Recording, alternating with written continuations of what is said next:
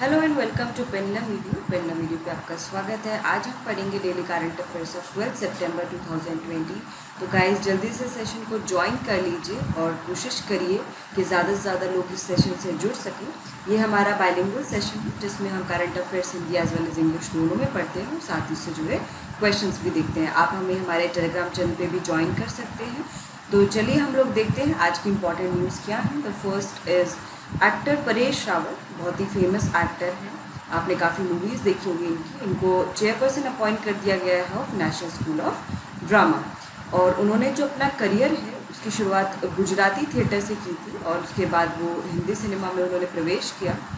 और काफ़ी famous movies में उन्होंने एक्टिंग की थी, जैसे अंदाज़ अपना अपना, चाची चार सौ बीस, हेरा फेरी ओ माई गॉड ये सब मूवीज़ आपने देखी होंगी कभी ना कभी।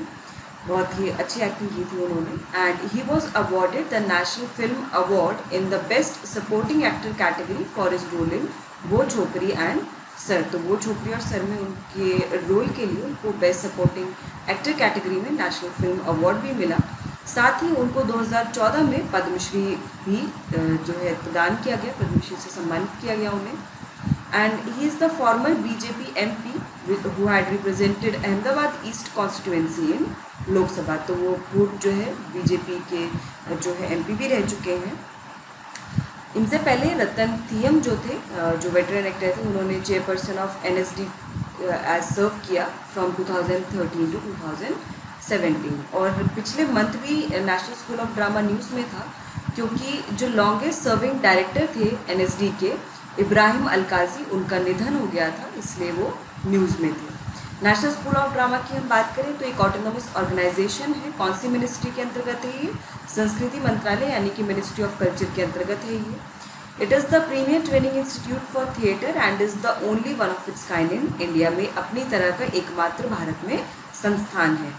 इसकी लोकेशन कहाँ पर है? न्यू दिल्ली में लोकेटेड है। ये 1959 में सेटअप किया गया था संगीत नाटक एकेडमी के द्वारा, लेकिन 1975 में ये एक इंडिपेंडेंट स्कूल बन गया।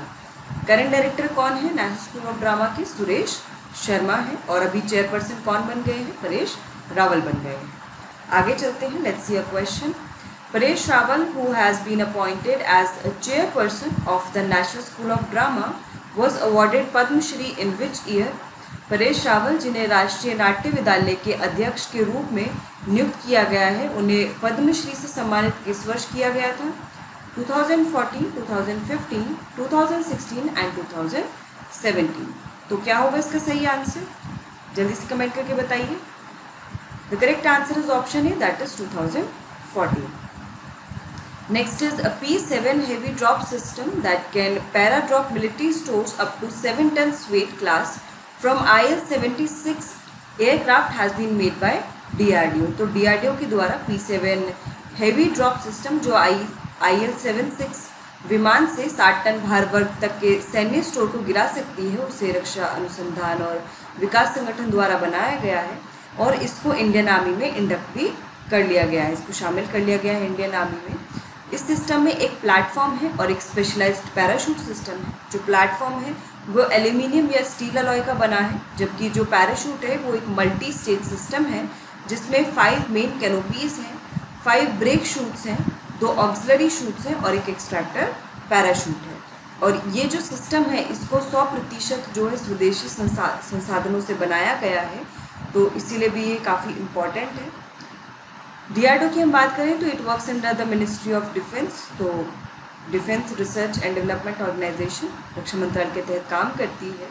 और इसका जो गठन है, इसकी जो स्थापना उन्नीस सौ अट्ठावन में हुई थी, when the defense science organization was combined with technical development establishment of the Indian Army and the Directorate of Technical Development and Production.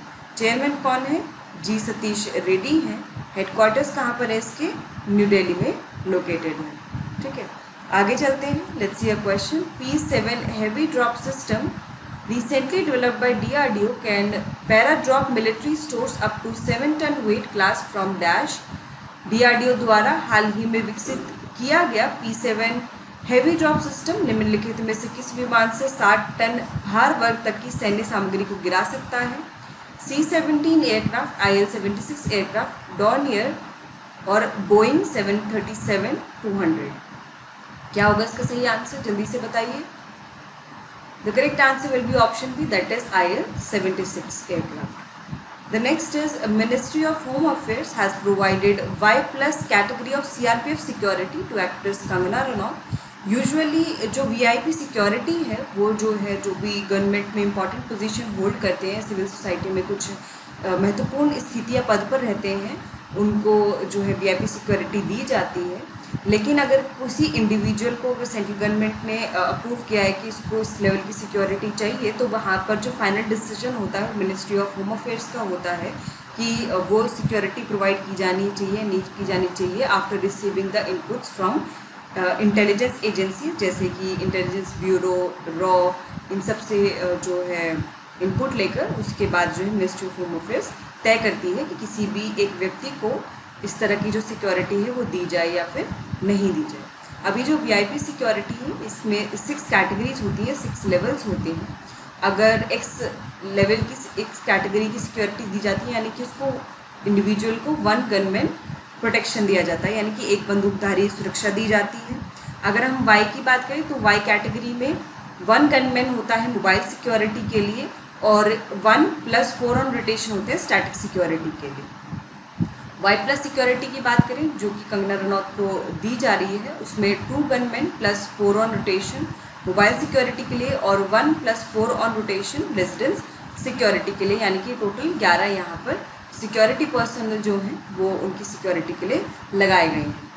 Z में क्या होता है? सिक्स गनमैन होते हैं मोबाइल सिक्योरिटी के लिए और टू प्लस एट होते हैं रेजिडेंस सिक्योरिटी के लिए। जेड प्लस में टेन सिक्योरिटी पर्सनल होते हैं मोबाइल सिक्योरिटी के लिए और टू प्लस एट होते हैं रेजिडेंस सिक्योरिटी के लिए। इसके अलावा एक स्पेशल प्रोटेक्शन ग्रुप होता है जो सिर्फ़ प्रधानमंत्री और उनके जो तत्काल परिवार के सदस्य होते हैं, उनको प्रोटेक्शन दी जाती है स्पेशल प्रोटेक्शन ग्रुप के द्वारा।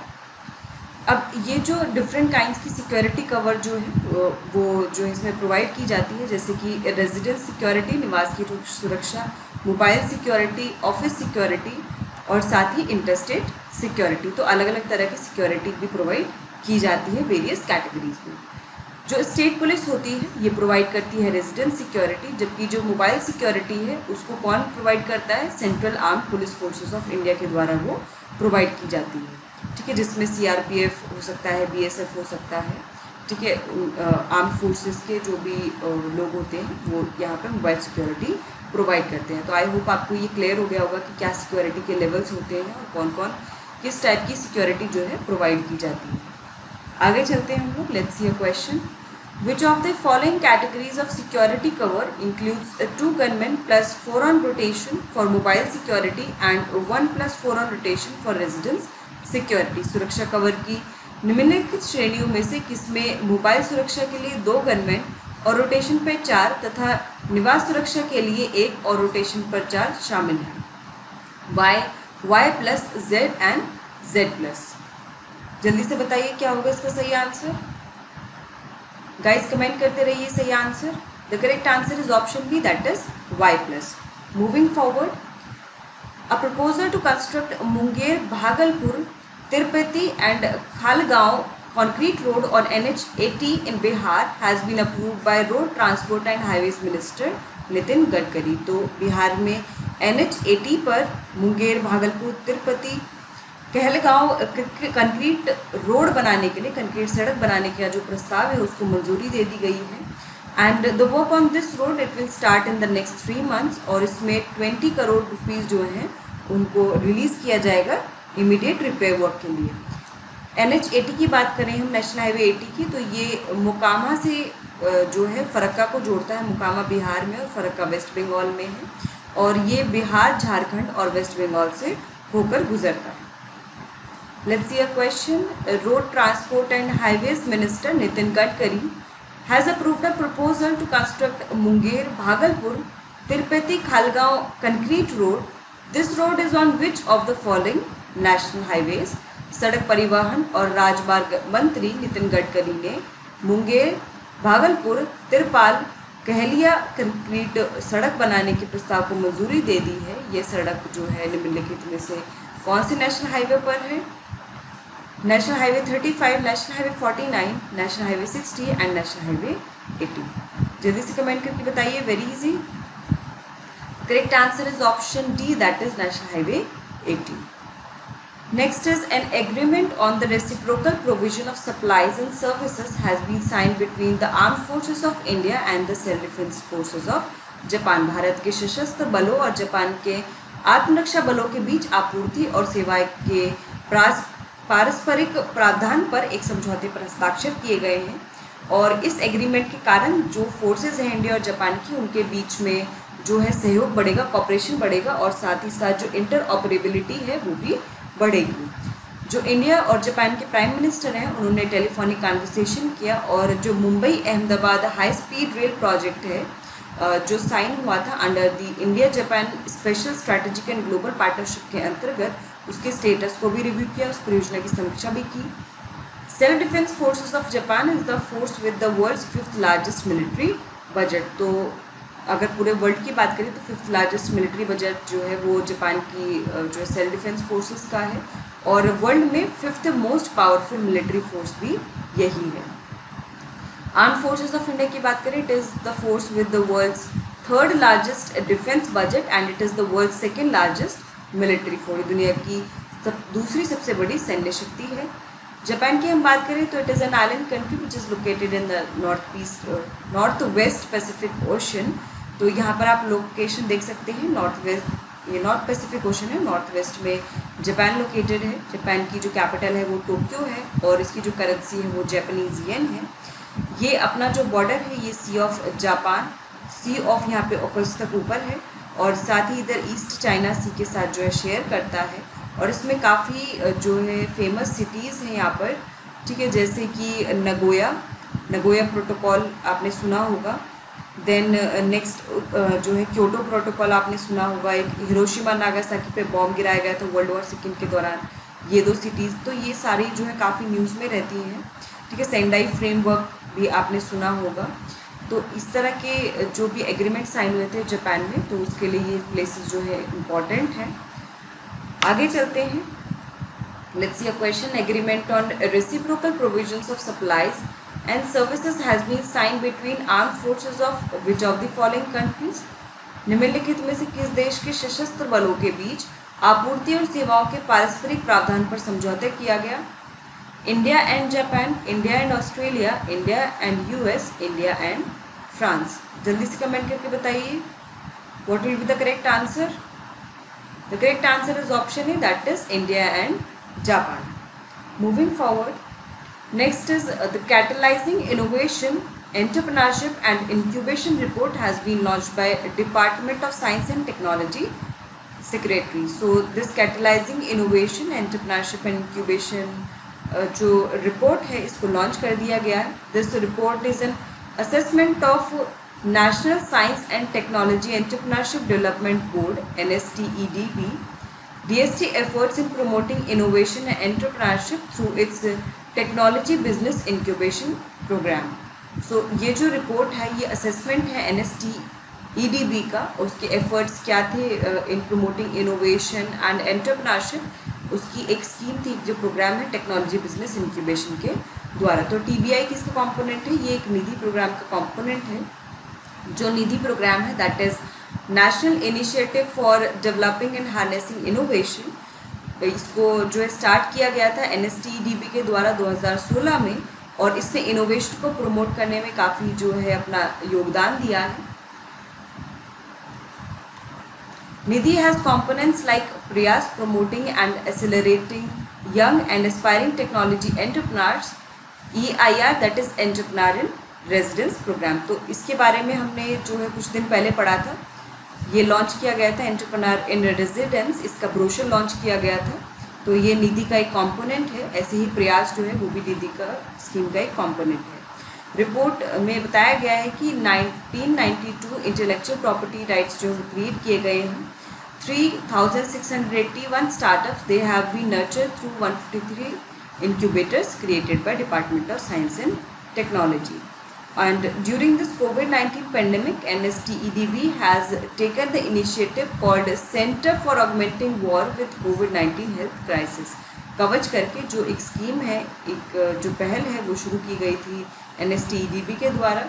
N S T D B it was formed in 1982 और ये किसके अंतर्गत काम करता है क्योंकि साइंस एंड टेक्नोलॉजी से रिलेटेड है तो ये department of science and technology के अंतर्गत काम करता है। चलिए हम लोग क्वेश्चन देख लेते हैं। What is the title of the recently released report assessing the National Science and Technology Entrepreneurship Development Board NSTEDB Department of Science and Technology efforts in promoting innovation and entrepreneurship हाल ही में जारी की गई राष्ट्रीय विज्ञान और प्रौद्योगिकी उद्यमिता विकास बोर्ड के नवाचार और उद्यमिता को बढ़ावा देने के लिए प्रयासों का आकलन करती हुई रिपोर्ट का शीर्षक क्या है catalysing innovation and entrepreneurship catalysing innovation and incubation catalyzing entrepreneurship and incubation, catalyzing innovation, entrepreneurship and incubation.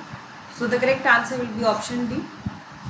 Moving forward, next is the methanol plant has been started at Trombay unit of Rashtriya Chemicals and Fertilizers Limited, Rashtriya Rasayan Aur Limited RCF की ट्रॉम्बे इकाई में methanol संयंत्र शुरू किया गया है। इससे पहले आरसीएफ जो है वो इंपोर्ट कर रहा था मिथेनॉल को, लेकिन अब वो अपना खुद जो है मिथेनॉल जो है प्रोड्यूस कर सकता है इस न्यूली स्टार्टेड प्लांट में। मिथेनॉल का इस्तेमाल जो है फार्मास्यूटिकल्स पेस्टिसाइड्स और डाई स्टफ़ जैसी चीज़ों को प्रोडक्शन में काम आता है। R C F has also increase the production of its popular fertiliser named Suphala. तो सुफाला जो एक फर्टिलाइज़र है, ये आर सी एफ़ द्वारा जो है बनाया जाता है, उसका जो प्रोडक्शन है उसको इंक्रीज़ किया गया आर सी एफ़ के द्वारा by seventeen point three in August 2020 RCF की हम बात करें तो it is PSU under the ministry of chemicals and fertilisers क्योंकि इसकी फुल फॉर्म ही है Rashtriya chemicals and fertilisers limited it is India's fourth largest producer of fertilisers इससे पहले टॉप थ्री प्रोड्यूसर्स कौन कौन से हैं? Coromandel international national fertilisers limited and Gujarat state fertilisers and chemicals limited इसकी दो मैन्युफैक्चरिंग यूनिट्स हैं। Which are located at Trombay Mumbai and Thal Raigad district in Maharashtra. Let's see a question. Rashtriya Chemicals and Fertilizers Limited has been started, has started a methanol plant at Dash.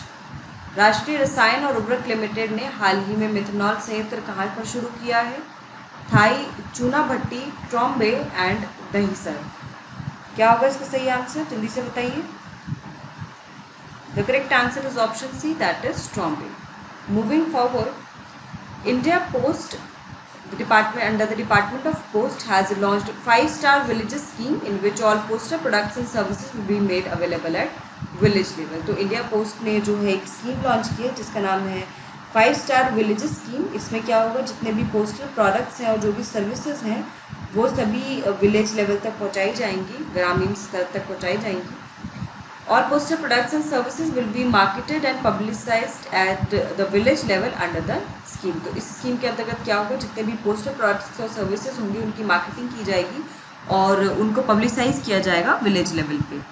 जो scheme है, इसको जो है pilot basis पे launch किया गया महाराष्ट्र में, अब इसको जो है पूरे भारत में इम्प्लीमेंट किया जाएगा depending on the experience in Maharashtra. ये स्कीम जो है पूरे महाराष्ट्र को कवर करेगी और during the current financial year the scheme will cover 50 villages in each district identified by regional officers इसमें क्या होगा? ग्रामीण डाक सेवक्स की जो है पाँच ग्रामीण डाक सेवक्स की एक टीम बनाई जाएगी, जिसको हेड कौन करेगा? ब्रांच पोस्ट मास्टर हेड करेगा कंसर्न ब्रांच ऑफ़िस का। इस स्कीम के इम्प्लीमेंटेशन के लिए। The team will be assigned a village for the marketing of all product saving and insurance schemes of the department of post जो team है, उसको assign किया जाएगा एक विलेज ताकि वो जितने भी प्रोडक्ट्स हैं, जितनी भी स्कीम्स हैं डिपार्टमेंट ऑफ़ पोस्ट की, उसकी मार्केटिंग कर सकें। और जो चीफ पोस्ट मास्टर जनरल है, वो जो है स्कीम की प्रोग्रेस को मंथली रिव्यू करेगा। अगर कोई विलेज जो है वो यूनिवर्सल कवरेज कर लेता है चारों स्कीम का, चार स्कीम का, जो ये लिस्ट दी हुई है उसमें से तो उस विलेज को फोर स्टार मिलेंगे। अगर थ्री कर पाएगा तो उसको थ्री स्टार मिलेंगे और इसी तरह से स्टार जो है वो दिए जाएँगे। अब कौन कौन सी स्कीम्स कवर्ड हैं इस फाइव स्टार स्कीम में?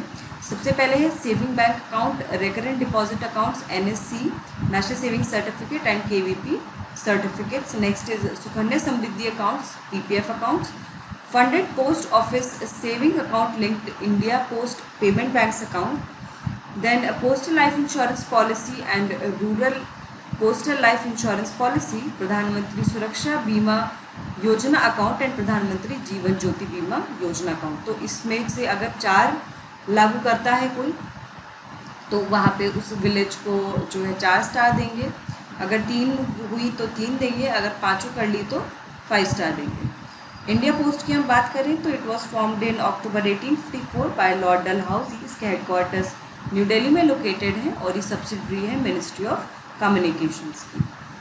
चलिए इससे जुड़ा प्रश्न देख लेते हैं। India post five star village scheme will be launch on a pilot basis in dash India post की फाइव स्टार विलेज योजना पायलट आधार पर कहाँ शुरू की जाएगी? आंध्र प्रदेश, महाराष्ट्र, कर्नाटका एंड केरला जल्दी से कमेंट करके बताइए। गाइस कमेंट करते रहिए वीडियो को लाइक करिए शेयर करिए कोई भी डाउट है कमेंट बॉक्स में मेंशन करिए। The correct answer is option B that is Maharashtra moving forward the department of science and technology felicitated professor Klyampudi Radhakrishna Rao, that is C.R. Rao, the living legend of statistics on his 100 birthday तो उनके सौवें जन्मदिन पर उन्हें सम्मानित किया गया department of science and technology के द्वारा। इससे पहले उनको जो है पद्म विभूषण से सम्मानित किया गया था 2001 में। C R Rao has set up C R Rao advance institute of mathematics mathematics statistics and computer science He was also awarded the US National Medal of Science and was described as a living legend by American Statistical Association. ठीक है तो उनको US national medal जो है science का वो भी दिया गया था।